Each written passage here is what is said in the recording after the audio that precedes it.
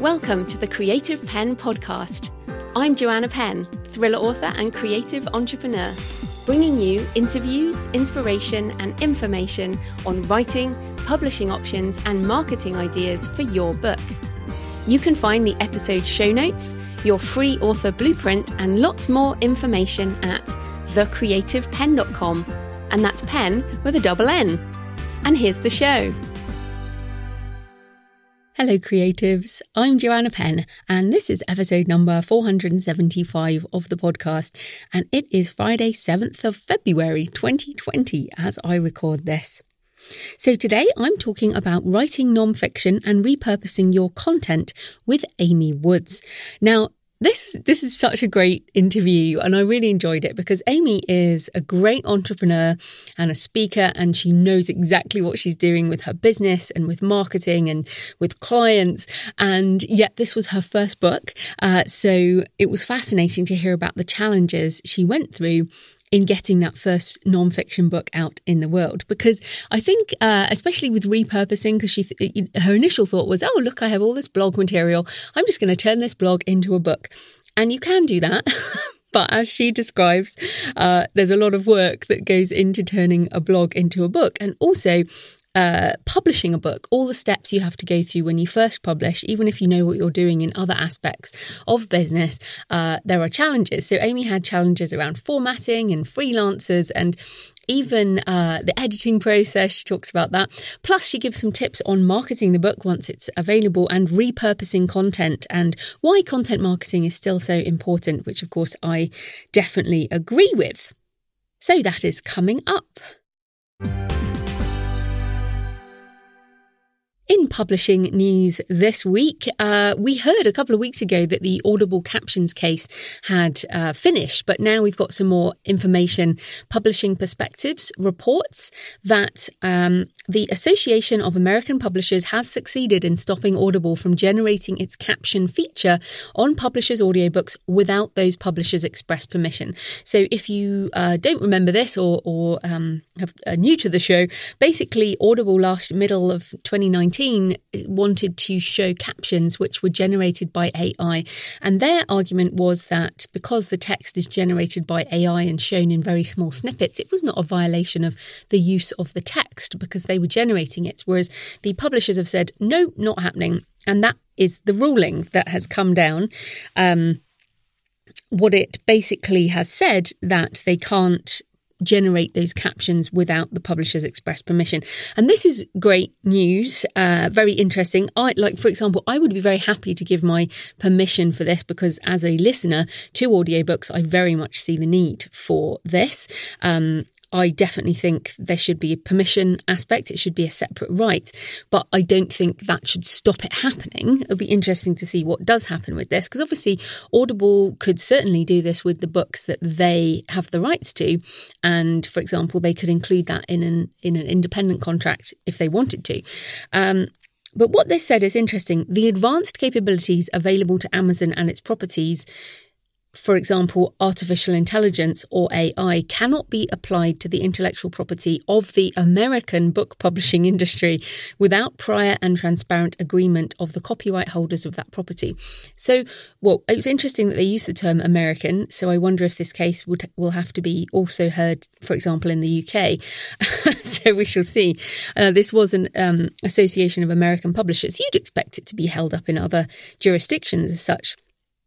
But what I think this means is there's a broader part of the argument about the use of books with AI, because the article refers to the World Intellectual Property Organization, WIPO, which is developing a definitive a definitive list of issues related to the impact of AI on intellectual property. So that's those submissions on that, which are separate to the patent office I talked about before. Uh, this closes 14th of February 2020. So I'm going to keep an eye on that because I, I've actually printed out their document, which I'll link to in the show notes. But it's very interesting what they are taking comments on. Many of the things I've talked about and a whole lot more. so we're definitely at a point where this is being considered by the publishing industry.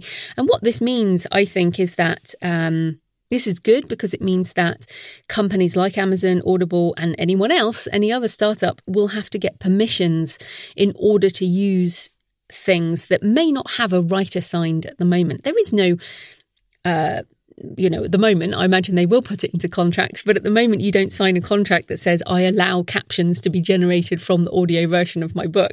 But maybe that clause will start coming in. So we're definitely in this really interesting time when uh, things are changing and morphing. So, yeah. And I find that personally exciting. uh, talking of personal things, uh, I did, Orna Ross and I took a break from talking about technical stuff. And on the Ask Alli Advanced Salon podcast uh, this month. Orna and I talk about how to be creative for the long term and stop from burning out. And this was because, uh, as part of my site audit, which I'm very pleased uh, has started to pay some fruit in terms of traffic, uh, cleaning up the old stuff on the website. Uh, basically, I've seen how many authors and sites and apps and podcasts have disappeared in the over the decade that I've been doing this. And so I wanted to really talk about what are the practices that help us sustain a creative life. And uh, you can find that on the Ask Alli podcast or just search Orna Ross. You can usually find things better. It's easier to spell. O R N A R O S S uh, on your podcast app, and you'll find that discussion in uh, the first week of February 2020. So, our discussion did include the idea of rest and the artist's date, and that is what I've been doing this week. So, I worked so hard in January to finish up uh, audio for authors and also narrate the audiobook. So, that is done. That is in uh, the mastering phase. The audiobook's in the mastering phase. I've just got the print proofs back, so I'm going to go through those. It's such it's quite an extensive book, so the print proofs will need more uh, attention than than usual. but that's what I'm about to do after I record this. But yes, I worked super hard, and for the first time in ages, I actually finished all my work before going away because normally what happens is I you know we all have a holiday booked in advance and then you have to kind of stop everything and put it on hold and then come back to it. But I had a really good finish. I finished at sort of half past 10 on the Saturday and then we went away on the Sunday so we've been in Bilbao and San Sebastian in the north of Spain, which is the Basque country.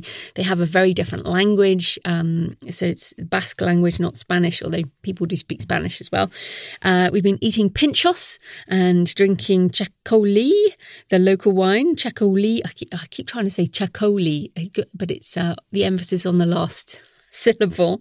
But um, I yeah, it was like we had amazing weather. I mean, this is if you look on the map, the Bay of Biscay, Bilbao and San Sebastian are on on this bay, a very exposed area of Spain, but uh, we had beautiful weather and very uh, unusual for this time of year. We had walked around the beach, San Sebastian, and the head there with the the hill, and then in Bilbao, we visited the Guggenheim, which is stunning. Uh, you can see pictures of it, but really, it's one of those it's essentially a sculpture. It is a building, but it's a sculpture. And I am such an architecture lover. I really am. I think in another life, I might have been an architect. um, but there's also this uh, Louise Bourgeois sculpture, which I've seen before in the Tate Modern probably 20 years ago.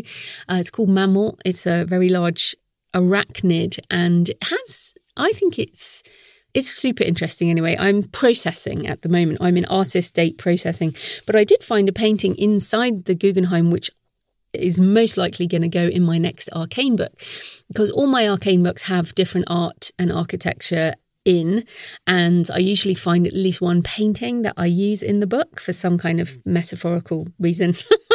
in Valley of Dry Bones, uh, Morgan was in the Prado, uh, which also we visited, and also in Spain. But I do I do find it so important to me to put the places and art that I found uh, touches me in some way, or always gives me ideas. So, as part of my book research process, is to go travel and uh, do things like that. So it was a good trip from relaxation. We certainly tried a lot of pintxos, drank a lot of txakoli, and uh, you can see my pictures. Now, I do have some on Instagram at JFPenn Author, but you can also find the pictures and thoughts and recommendations from the trip at booksandtravel.page forward slash Bilbao, spelt B I L B A O.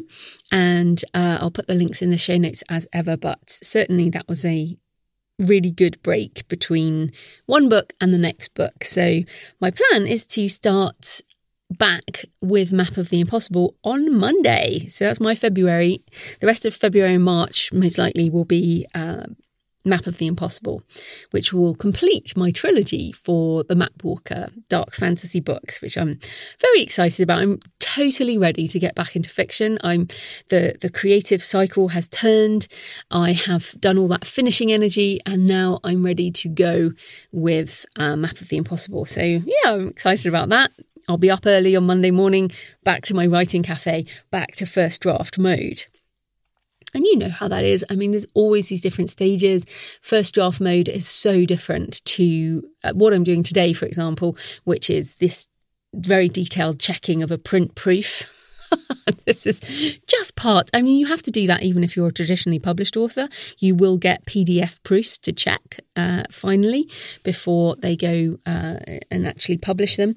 But certainly, it's the stage of oh, I'm almost finished, almost finished. Uh, yeah. Anyway, also on Books and Travel this week, uh, I interviewed Matt Buchman, or the author M.L. Buchman. Um, and Matt cycled around the world, and I think it's, it's taken him like two decades to get his memoir out. about cycling around the world because it's more a discussion on finding what really matters rather than you know, we talk less about places and more about the existential questions that you have to face on a journey like that. Now, Matt has been on this show before talking about estate planning. and he's also a romance writer and he narrates his own audiobooks. And he's got a great new book about self narration of audio. But it's really good. Oh, it was so nice because I've known Matt for a number of years now, and it was lovely to talk to him for books and travel because we do not talk about publishing, we don't talk about marketing. All we do is talk about places and emotional things. And so we have a really good chat. Matt really does share very openly, which is why I love that other podcast as well. This is useful. That one is more aspirational, I guess. So that's the Books and Travel podcast.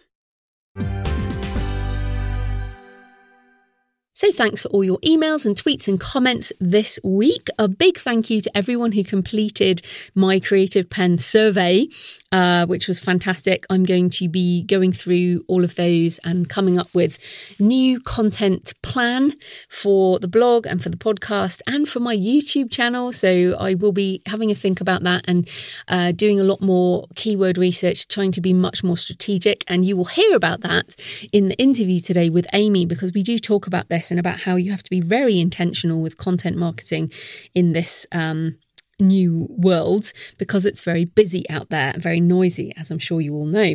So, yes, thank you to the survey people. And I did send emails to the winner and runners up on Saturday.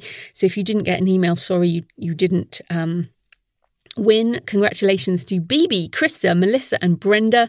Uh, I should say BB, Krista A, Melissa S and Brenda F, just in case there are other people listening with those names.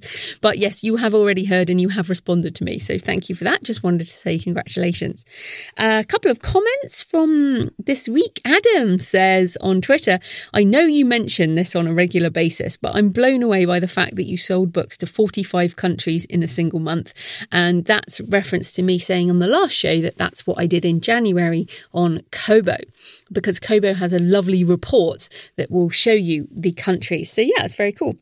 Uh, SJ Pajona says, really enjoyed the podcast with Jerry. It was interesting to hear from a former FBI agent about the things books and TV often get wrong. I subscribed to her podcast right away. Yeah, it was good fun with uh, Jerry. And finally, on YouTube, Nicole says, Really love this episode. Love how you always give away the farm in your videos, Joanna. and that made me laugh because uh, that's also circling back to content marketing. This is the school I come from. This is the the school of the internet that I come from is give away everything, and people will still want to support you by buying your books or whatever. So, yeah, thank you, Nicole. And um, that was a comment from YouTube, and I am planning more videos on YouTube. So if you are someone who does listen on YouTube, because at the moment it's audio only on YouTube, and some of my backlist has videos. Um, but yeah, very. I'm looking forward to doing more with video at some point. Uh, it might be more live videos, um, you know, stuff like that. I'm thinking about it. Right, so today's show is sponsored by Draft2Digital, and I will play a word from the lovely Kevin Tumlinson in a minute. But did you know that Draft2Digital also do a live Q&A every month, which they put out on their blog? And there's also a transcript. And in January's episode, they talk about getting your book into libraries, print author copies, audiobook publishing, marketing for wide published books, and much more. Plus, if you need help with formatting, as you'll hear in the discussion with Amy, Draft2Digital do have free formatting options and they are listed along with other options at thecreativepenn.com forward slash formatting. Draft2Digital have a free uh, ebook formatting option and uh, I think some print stuff too. Anyway, Fantastic. So that is coming up. This type of corporate sponsorship pays for the hosting, transcription, and editing. But my time in creating this show is sponsored by my wonderful patrons. Thanks to everyone supporting the show on Patreon, including new patron this week, Lily Burkush. Thank you, Lily, and thank you to everyone who supports the show on Patreon. I really appreciate it. Like the tweets and emails, it demonstrates you enjoy the show and want it to continue. And you can support the show on Patreon with just a couple of dollars a month uh, at the Creative Penn. No, in fact, not at. You'd think I'd know this by now. I mean, seriously. ah, you can support the show at patreon.com, P A T R E O N.com forward slash the creative penn. Right, here's a word from Kevin from Draft2Digital, and then we'll get on with the interview. Hey, this is Kevin Tumlinson from Draft2Digital. So, we love helping authors build and grow their author careers. That's why we started our monthly free webinar series, Draft2Digital Ask Us Anything. Each month, three DDD experts answer your questions live and offer what we know about the indie author business. And don't worry if you can't make it at the time, we record each webinar and make it live via YouTube and Facebook, as well as on our blog. And as an added perk, each month we open up the lines for authors to schedule a free one on one author consultation with someone on our team. Slots are limited, so this is only open to the live attendees, but we'll do our best to chat with you and answer your burning questions, so tune in. RSVP for the next Ask Us Anything when you go to draft2digital.com slash live. That's draft number two digital.com slash live.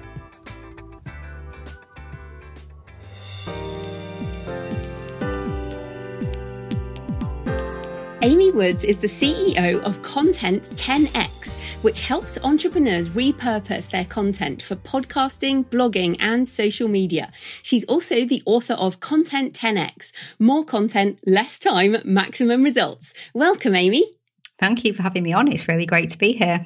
Oh, no, this is such an interesting conversation, I know, for everyone. But I want to start with a question that many, um, you know, business owners, people, you know, working in the sort of non-fiction space. So you already have a successful business. So what made you decide to write a book and why is it useful for entrepreneurs? Uh, so why did I decide to write a book? I guess there's a couple of reasons. So firstly, it was because I, with my business, we have a service that we provide to uh, business owners, entrepreneurs, but content creators, basically people who create video, podcast content. And we teach them, well, through the service, we repurpose their content for them. But then I have a blog and a podcast where if we're not doing it for you, you know, I teach you how to do it. So I've grown an audience of people who like to learn through the podcast and through the blog. And I just felt like there was a gap in what I offered as a business because I went from completely free content, you know, and and it, it just in lots of different blog posts, lots of different podcast episodes, so not massively structured, but just free content, um, to you know a, a service which is um, a fairly kind of less premium price service. And so there was there was the gap in the business where I wanted to be able to say to people, okay, well maybe the service isn't quite right for you, but you want something easier to follow than you know trawling through blog posts and podcast episodes and things like that so why don't you get a copy of my book so i wanted to kind of have a product um, have something that people could purchase in addition to the you know the service that wasn't quite high price but would help people perhaps more so than the free content because it's you know well structured and goes into more detail. So that was reason number one like a business gap. But then you know the other big thing was it's the whole thing about the authority you know just um trying to make my stamp in the world as being a leading expert in content repurposing and knowing that you know one thing that people do when they have expertise is they um if you know if you have the time and the patience and everything um write a book you know. So um it, it just seemed like a, a great personal brand authoritative, you know, stamp to um, to be an author of what I want to be known for, basically. Mm, fantastic. Mm. And you and I met because we both spoke at the same event a couple of years ago. Um, and do you do you think that the book um, will help you with your speaking? Is it you know are you going to use it in that way? Yeah, I, I think so. I definitely think that it's just helped a lot with yeah, raising awareness of of who I am and what I'm about and what my you know my knowledge and expertise is. And I just noticed that people take I, ever since so it, the book published in um, when in mid October? Well, at the end of October, so it's not been out for an awful lot of time. But already, I've had yeah people getting in touch with me, asking me to speak, and I had that already. But I find more so people are paying more attention now that I have a book. So um, more speaking, and then uh, more people wanting to work with us, you know, like un- unusual and interesting inquiries, like collaborations and things like that. And when I say oh, you know, how did you find out about me? Um, the book, you know, and some people, really interestingly, I've noticed, who have been maybe following me for a little bit and and interacting maybe on LinkedIn a little bit and things like that. But when the book came out, have been all of a sudden, you know, really communicative and really, um, I don't know, just kind of have suddenly taken a bit more notice of, of what I'm doing and what I'm about. And I think I've noticed a shift of people thinking maybe that I'm more credible, you know, now that mm. I've done that. So uh, I'm not necessarily after more speaking engagements. Like, you know, it's brilliant to speak and I love speaking on stages and it's just another great way of showing your expertise and growing who I am and what we do as a business. But um, I didn't really do the book for that, but I've definitely seen a correlation between the two. Mm, that's fantastic. Mm. So lead gen for the business and also for the speaking, and mm. yeah, so that's really good. So uh, you obviously, as you said, you create content, you repurpose content, you know about content. So, but what was what were the challenges in writing a book specifically that might have surprised you, um, or also in the the publishing process, I guess, as well? Oh my goodness. So I can't even begin to tell you. So um, it was really funny because I, so I had like kind of going back, I suppose, I had the podcast and every week we were repurposing our podcast episode into a blog post case. So it got to the point where I had over a year's worth of, of written content. So I thought, okay, there's lots of written content here. So in the whole spirit of repurposing, right, we, we can repurpose this year's worth of blog posts into a book. But then you know, it didn't quite go like that because you know there were loads of gaps. I want I planned out what I wanted to go in the book, the outline, the chapters, what would go in each chapter, and then cross reference that against the content that already existed. And there were some places where I could, you know, um, take that content over and you know reword it and, and improve on it and add to it, but at least as a starting point. And then I identified loads of gaps as well, so then I could fill those gaps with podcast episodes and blog posts and bring that into the book. So the content creation it took longer. There were there were a lot more gaps and there's a lot more that I wanted to do, but I felt like when I got to the point where I had a final manuscript, it was like, right, okay, now, you know, let's just get this this out. But then that was that was not that was just the beginning because um, I had so many um, so many challenges with the actual publishing side of it.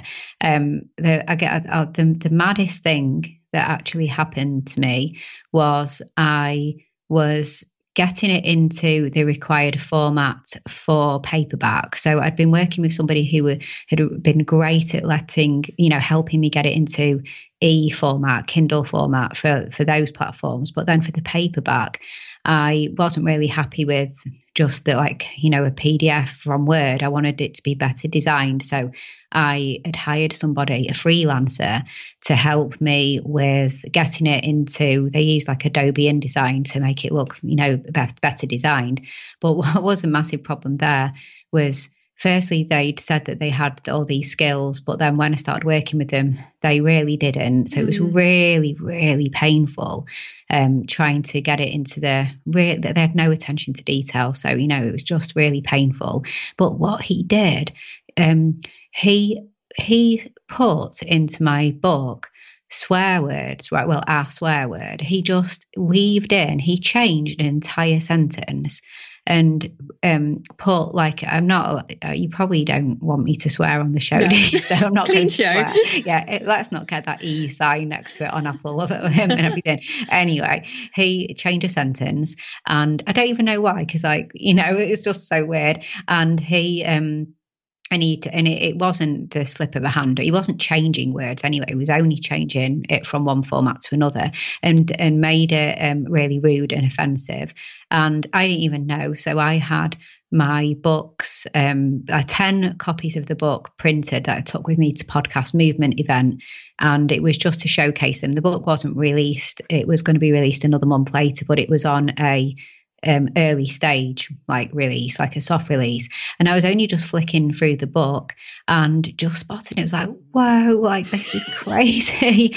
um, went back and looked at what I'd sent him, you know, what what mm. what he'd received to see if it was any mistake at Aaron. And I knew it wasn't. I can't tell you how many eyes had gone through it before, you know, we were um, getting to that stage. And, you know, he had just, you know, sabotaged it, chosen to weave this in and I suppose see if it ever got noticed. I don't know who or why anyone would do that.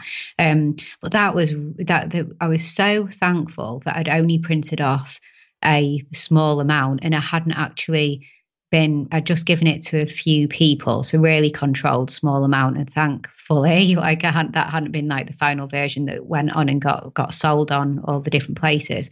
But um, I had that was the weirdest thing that happened to me. Mm. But then I just think um, that it was that those aspects were quite tricky tricky you know going from whatever you've typed your book into whether it's word or whatever um whatever word processing software you use through to the different formats for you know for kindle and for um paperback and I did an audio book as well. And I had a, a funny issue there as well with my audio book, um, whereby I spent turned up at the studio. I had a, was working in a studio and I thought it'd probably take three goes um, like three days maybe to, to get it done. So I booked it one day a week for three weeks.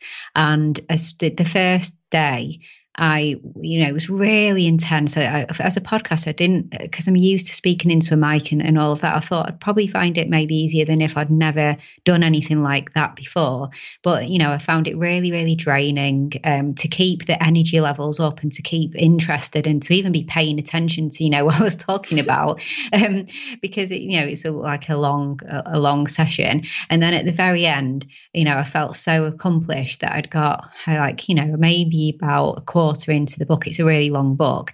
And then um, nothing recorded from the entire day. I said to them, you know, can you download um, it onto my computer and then get it over to my my editor to do the edits and stuff. And they there was just they came over and there was just you know just this this really blank look and they were like, are you you know are you sure you hit record? I was like, yeah, you know I've been doing exactly what you told me all day, like t- to the letter. And then they they just yeah they said, well go home, we'll probably find it. And I knew they were not going to find it because the looks on the faces they were mortified. Um, but their their software you know their recording software failed on that day.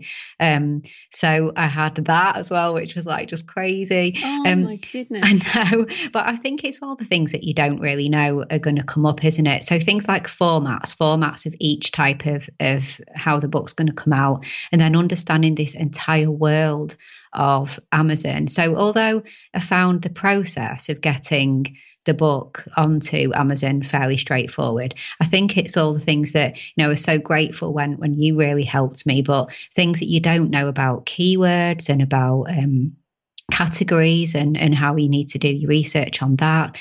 And then different platforms that you can sell your book on, especially if you want to go for you know, more than, you know, broader countries for all the formats, so different platforms for um, your audio, for your ebook, for your paperback.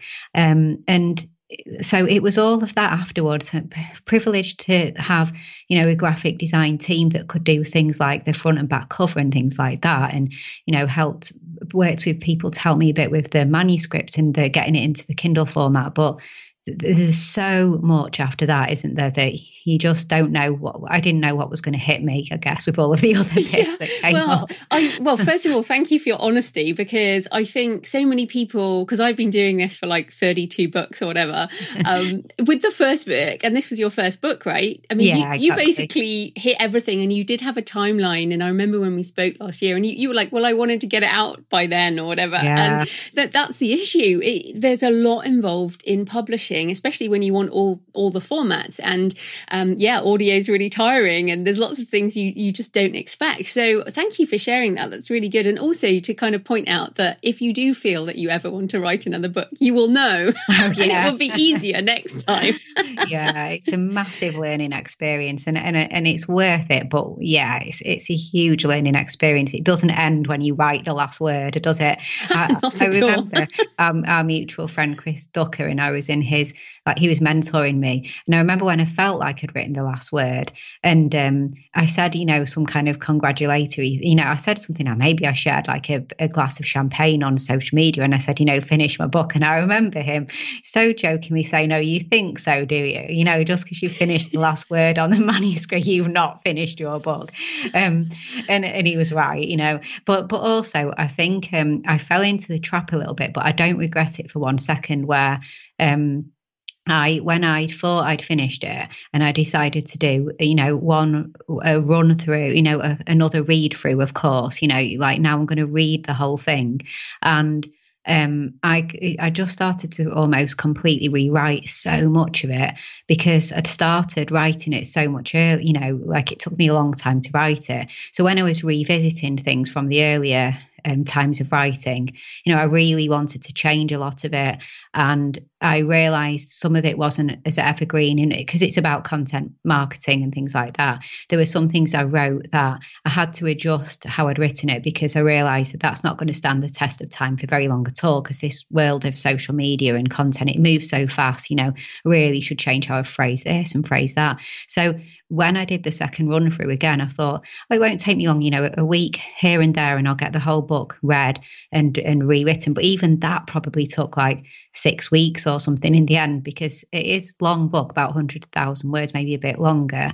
Um, and the read through again and the rewrite, but I don't regret it because every bit of everything I rewrote was worth the rewrite. But I didn't factor things like that into, you know, the next review and the next review and and all of that. well, I think you, you know, you did a great job. Um, oh, and I just wanted to circle back to the tip on the paperback, which is mm. there's a reason that we proofread the actual physical product.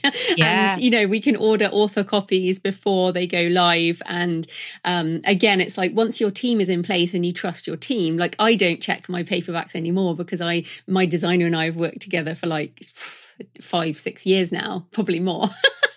so, but it's like the first time you do it, these things happen, um, and you kind of then you learn to sort them out for next time. But that is it, really mm. great lessons learned there. So, I want to get into the book itself because yeah. I know people listening um, really interested in content. So, I want to start with you know, this overwhelming amount of content there is in the world.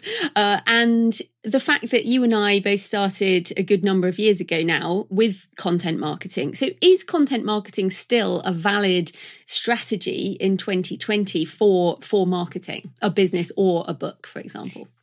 I really do think that it is. I think it's, it's almost the strategy because if you think about the moment, you know, we can Google anything. So whenever we want to find anything these days, the answer to anything or anything like that, we tend to Google and we tend to go down rabbit holes and we work out, you know, the answer to questions, but also, you know, who we want to work with, who we want to hire for things and things like that. And I think that it depends completely on what your business is. And I'd never ever think that there's a one size fits all answer to, you know, what kind of marketing works for what business. It really does depend. But I especially think that if you are um, selling something, a product or service where you know it's very high competition, and if you're smaller and you're up against bigger brands and and giants and things like that, it's your content marketing that will often really help you stand out because that's where you know you're putting the time and effort into to help people, to offer up free content, to answer people's questions in advance before you've even met them. Um, and people will go down that rabbit hole and start to know, like, and trust you through your content. And you just can't get that through a Facebook ad or through a Google paid, you know, AdWords appear at the top page of Google, um, or all those kinds of more, uh, you know, the, the kind of marketing that is just not content driven as such, but just trying to get people to to sign up for something or to um, book a discovery call or so anything like that. And I, I always think that I don't know, like if you compare, if you were, let's say, looking to have a extension built on your house and you were looking at local architects and one website had just, you know, it was a bit like a, a, leaflet, really, not any content on it, such, but just some phone numbers and an address and some photographs. And another had uh, help and advice, like tips on how to get you, you know, how to choose an architect, what planning processes are, all that kind of stuff, offering that help. And then you went on the social and you saw faces and humans and people and more tips and more advice. It's a no-brainer who you would pick up the phone and call. The, the you know, the the one that's already offering their knowledge, their expertise. They seem human. There's people, or like you know just a website with a, an email address a phone number and not much else. So i think content is so so important. But like i said i really do think it does depend whether it's product based service based you know what you're selling price points and things like that. But it's a slower game but in the longer run i think that it it pays more than any other form of marketing that anybody could do Mm, and and it sort of builds over time. Whereas I always yeah. say, you know, pay per click ads, whether they're Amazon ads or Google or whatever, you know, they they might get you one sale right now, but then that's it. You've paid for it. It's done. And yeah. the longer term stuff, like the more content you build, the more likely you'll get discovered you know it's it, it really is that long uh long tail long term it is really isn't it? And you have to have faith in it. And and i guess you have to um you have to have a plan and a strategy and not just create content for content's sake. But you know you do really need to be thinking about it's the you know who is your audience and and what kind of questions would they be asking and how can you be answering those questions? And I think it's, it's if you have a scattergun approach to creating content and you just create lots of different content about maybe a few too many different things and you don't stay in the lane of what you want to become known for then then i think you can waste time and money on content marketing. I think it needs to be really backed up with a strategy and knowing where you want you know what you want people to do but more so Uh, if you have a business and you solve a problem for people, then through your content, they should very quickly be able to answer the question what problem does does that person solve? What problem does that business solve? And if you're got you know if you're not clear with that and you you're creating content all over the place about different things and people even like you and follow you but then if somebody said well, you know, but what what's their business? And they said, I don't know. Like, I'm not really sure what problem they solve. I just really like the blog post, so I don't really know. Then someone who loves you and follows you might have a problem that you can solve and not go to you because they actually didn't realize, oh, is that what you do? Like, I didn't even realize that. I love your blog and I love your podcast, but I didn't realize you did that. So I think, um, I think you do, you can waste time and money if you don't have a strategy. You need to make sure it's really clear and really aligned. And we can talk about all sorts of things, but if one minute you're talking about, I don't know, like Facebook ads, and then the next minute you're talking about getting up at 5 a.m. every morning, and then the next minute you're talking about, you know, I don't know, like um, things that annoy you on the school run or something like that, um, and it's all scattergunny, then who, how is anyone going to kind of know what to get in touch with you about? But if you're really focused, you're building your personal brand, you're building awareness, you're getting there's more chances people are going to find you through Google search. People are going to understand more about who you are and what you're about on social, and it will work in the longer term. But you just need to be intentional. I think that may be a mistake when people sometimes say it didn't work maybe they weren't as intentional and didn't have as much of a strategy behind it as as they could have done, or they're confusing failure and boredom and actually they got bored and stopped and, and it didn't we didn't give it enough chance as well. So yeah. you know yeah i think that yeah. can, sometimes that happens. I also think that writers i mean my audience obviously writers first um, writers are used to being in their own heads and we write our mm-hmm. books mostly for us first. We don't necessarily and then we think about marketing them. And i feel like i definitely over you know over a decade on the creative penn i didn't set out with a clear strategy of who i wanted to reach. I mean you know i, I grew into that over time. But i wonder you know there are some things that um you know could potentially sell books more than others. So what are some content marketing ideas for authors in particular or that things you found around the book have made a difference?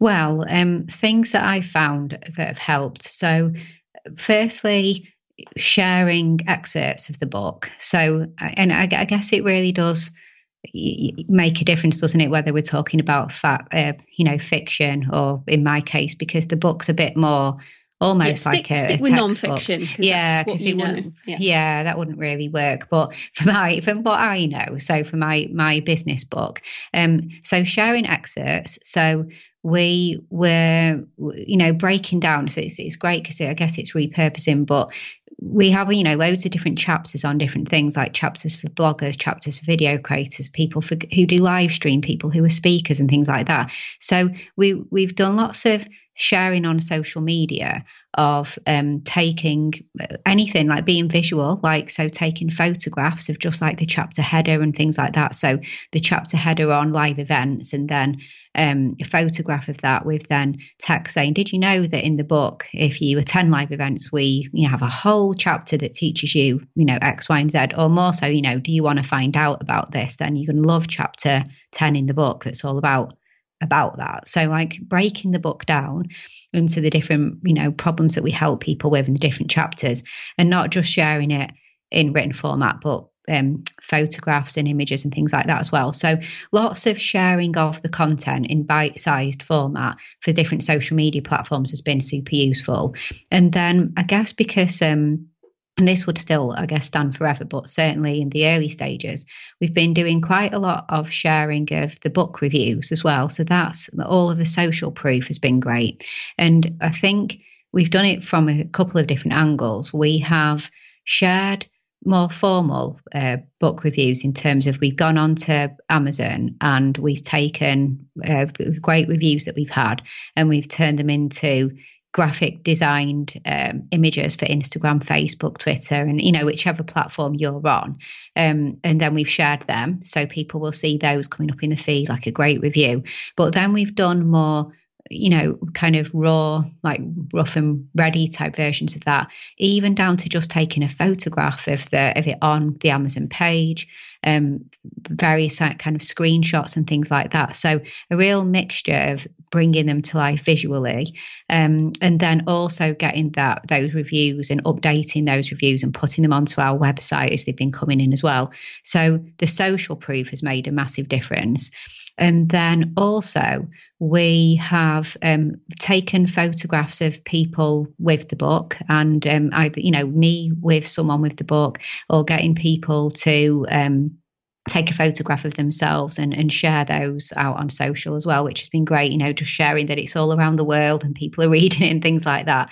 So lots of that kind of content. Mm. And then I think so something um, that was quite cool that I did last week actually was I shared the foreword of the book on the book page of our website. So um, into where it says like foreword by Chris Ducker, and we took a sentence and just put that on the website. Now we just say hit play and listen to the foreword by Chris Ducker. So, um, like you know, and I, I, did double check we were allowed to do that on the on the Audible terms because you can only you, you're allowed to share up to ten percent of the book. You can have an excerpt, yeah, yeah, and it was only excerpt. three minutes. Yeah, so like I think we can get away with that.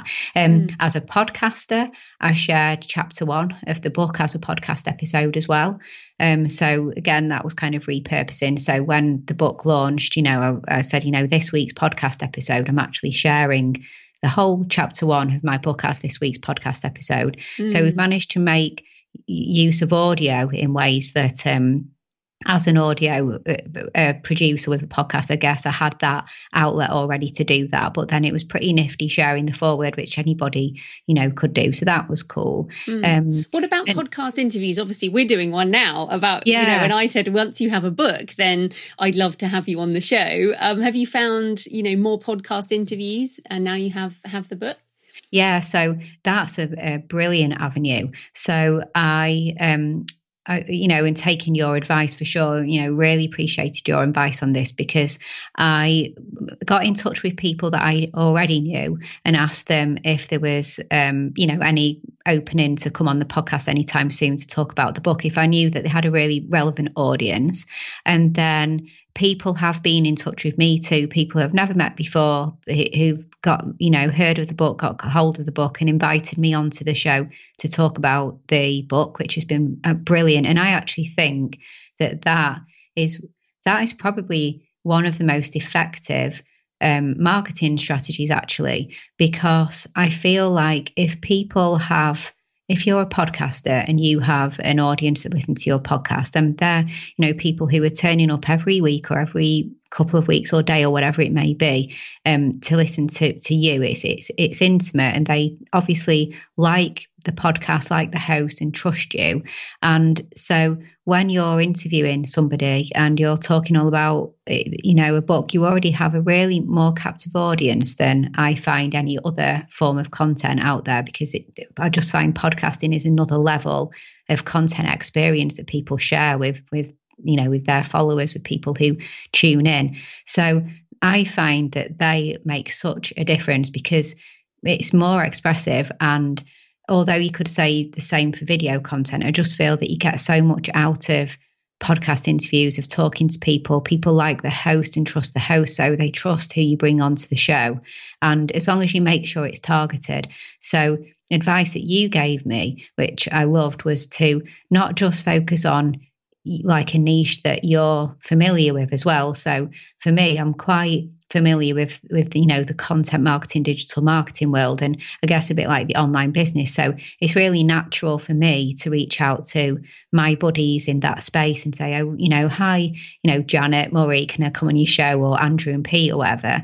But actually, you know, your tip on, well, what about other niches like like mumpreneurs, let's say, because I'm a mum and like and, and I've written a book and I could definitely relate, you know, to that side of things. Or um, I know like I had a tough time with my health, and you said even like people maybe this podcast of people talking about struggling, you know, going through adversity and and coming out the other end and things like that. So different angles as well, not just the industry that you know, but as long as you think there's an audience there.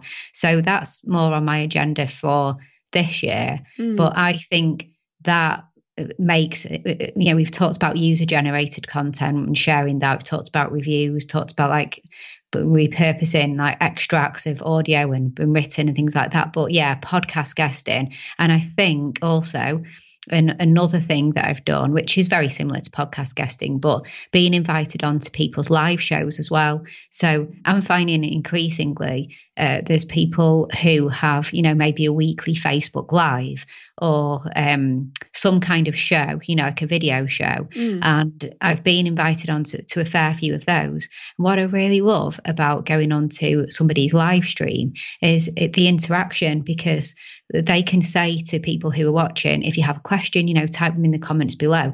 And then you, you can actually, you know, interact with the people, which it, it, you know then takes it to another level of really tapping into a community and the interactive nature too. So um, I think they they're wonderful being involved in live shows as well. Mm. Wow! And so you've mentioned video there, and I know, I know a lot of my audience are like, "Oh, I just I don't want to do video." But in your content marketing predictions for 2020, you mentioned more video, and you said Instagram and LinkedIn, which was a surprise to me.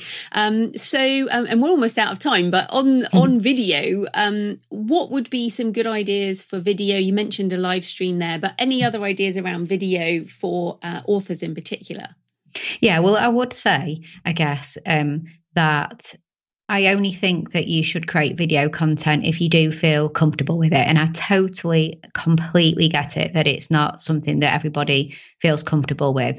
And I don't think that you should create any, you know, especially commit to any kind of content medium that actually you're really uncomfortable with and you find it a chore and, you, and, you, and you dread doing it. You know, if you, you know, I'm going to do a video every week this year and then you dread it, like that's just not going to be great because the most important thing is consistency. And if you can be consistent with your blog or with a podcast, then, you know, do what is consistent. But I think, um, you know to get comfortable if if you're wanting to get started with doing more video content and it is huge like you know they, they've been saying for so long in various statistics and and and um, research studies that as we get now into you know scarily 2020 um, that more than 80% of content consumed online is video content. So you know everything there kind of says well if that's what people are consuming then it's worth considering should i be doing video content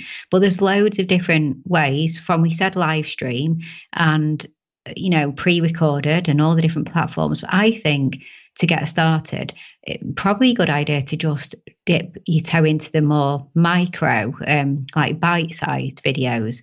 So if you are on Instagram or on Facebook, then I'm even talking about stories. So getting used to just doing less, you know, just 15 second um, video clips, you know, sharing uh, aspects of, you know if you're taking people on the journey as an author of what what life is like as an author and what you're currently working on things like that then um, sharing bite-sized video snippets of you talking to camera more about that or about your recent book and that kind of thing or sharing testimonials social proof.